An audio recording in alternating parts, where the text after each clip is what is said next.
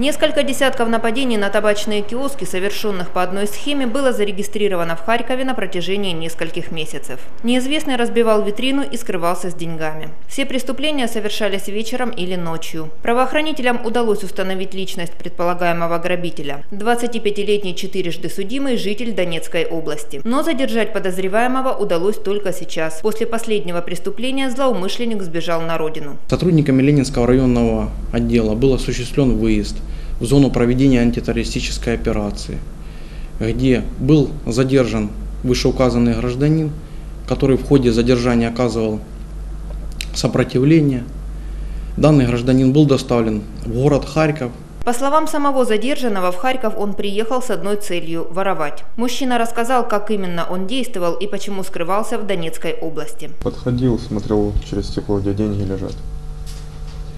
Увидев деньги, искал кирпич. Нашел кирпич.